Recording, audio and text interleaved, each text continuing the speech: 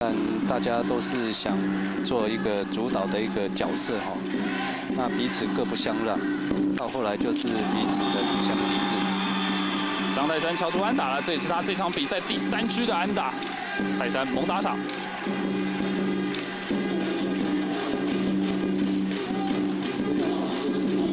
泰山厉害的时候哈，真的是像这种啊角度也非常的低哈，然后整个重心屁股都已经往后退了，最后还能够哦用棒子去延伸这个特性。来了一个变化球，不过没有进到好球带。谢家贤今天第四次获得保送，而且呢也把一垒上的张泰山给推进到了得点圈。被朱宏森接杀之后再传二垒，真的好像回垒不及出局。那第二次呢获得保送之后呢，则是下一棒的打者打了游击方向的滚地球，结果王胜伟美记呢把郑兆航封杀在二垒之前。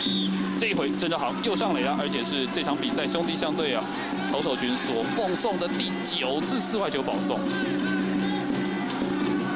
不知道张泰山到底是何方人物，但是那一年的热身赛，然后开幕战呢，张泰山都有不错的表现，啊，最后就变成了台湾之棒的全打王。那现在张泰山要回到本垒得分了，因为黄光勇获得了四坏球保送，这也是兄弟相对这场比赛投手群加起来所投出的第十次四坏球保送。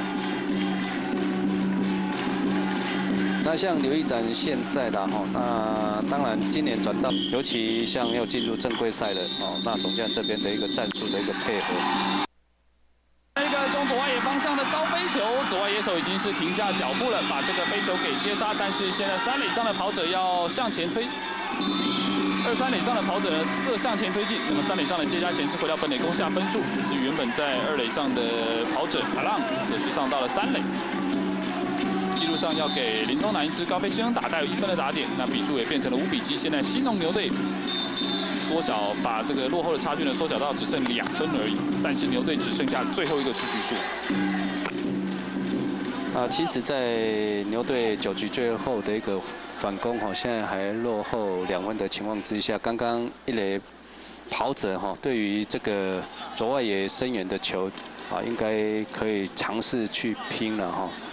毕竟一支安打可能就马上把分数扳回来，所以剩下最后一个打者的一个机会啊，你要发啊出现连两支连续啊安打，然后才把整个啊战局扳平哦这样子的一个几率哦，事实上也不是说很多哈。这一棒又是一个左边方向的深远飞球，左一手向后退，向后退，向后退，这个飞球落地变成一支安打。原本在一垒上的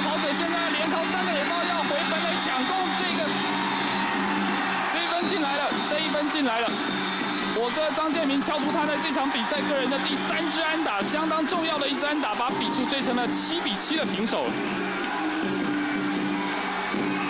那延续刚刚那个话题哦，还好啊，张建明这一支安打是啊非常深远的。那如果说啊不够深远的话，那目前牛队还只是落后一分哈。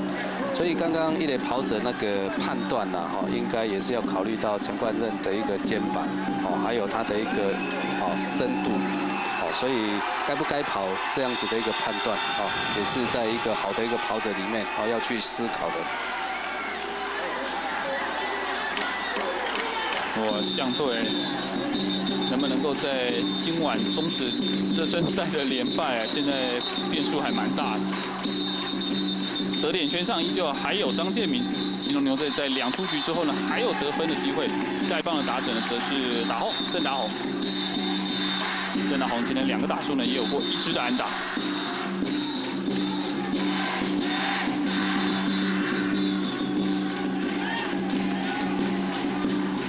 那也因为呢，新农牛队在九局上半把比数追平了，那现在已经确定要打九局下半了嘛？是。但是牛队的先发捕手叶军章，刚刚已经是被换代打。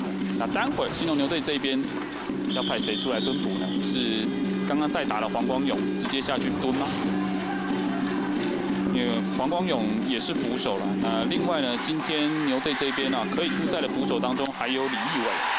郑达宏这一棒右边方向的飞球，上去了，上到二层看台，这是一支两分打点全垒打。哇！牛队又在台南球场，又在九局上半上演了逆转秀了，在这个半局已经是攻下第六分了。啊，可怕的是哈，啊，这次全垒打并不是在牛队的中心打线里面哈。那郑达宏在跟徐总。啊，谈到郑达宏的一个定位哈，基本上郑达宏他也是一个捕手了哈，但是因为他的打击要重用的话，所以啊，徐总他这边的一个盘算，希望把他拉到外野去，这样才能够充分的一个发挥他打击的一个能力。嗯哼。个红浪打的挥棒过程也是蛮轻松的哈，力道并没有使用啊太多的一个感觉。对，台湾版的 Johnny Damon。哦，的确非常的像。这个半局哦，刘玉展呢被打了三次的安打，但是呢，他也投出了三次的保送。结果呢，这个六位上垒者通通回来得分啊！新农牛队现在反倒是九比七，两分领先兄弟象队了。而且呢，场上上场的已经是了这个半局啊，牛队第九个上来的打者。小霸王陈志伟，相对到目前哈，所有的投手在控球上还是有问题的哈。几乎每个投手上来所产生的四坏球，真的像到目前已经超过十次有了。对，十次的四坏球保送。陈志伟这一棒也把球打向了左边方向，又过去了。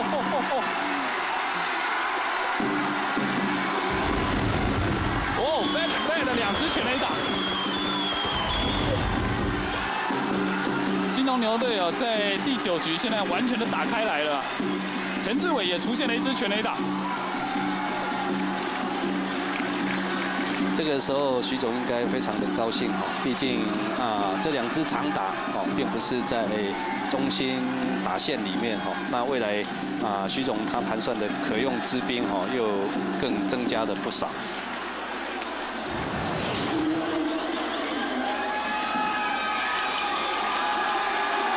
的球啊，被小霸王陈志伟逮到之后呢，直接就把球给扛出全打墙外了，十比七，新农牛队呢现在是三分领先。张泰山这个球打得结实，但是正向着二垒手的手套而去，总算也止住了新农牛队在九局上半的这一轮猛攻啊！那牛队在这个半局出现了两支的红浪，而且攻下了一个超级大局，目前反倒是十比七领先兄弟相队。